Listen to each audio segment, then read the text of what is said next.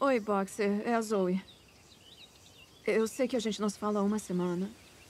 É, desculpa não ter respondido a sua mensagem, Boxer. É que eu não sabia o que dizer, porque eu sou casada. E você disse que quando estava comigo foi o mais perto do amor que chegou em 10 anos. A verdade é que eu só procuro você quando eu tô com um problema. Mas isso é muito mais do que um problema. E não tem outra pessoa, além de você, que possa me ajudar agora.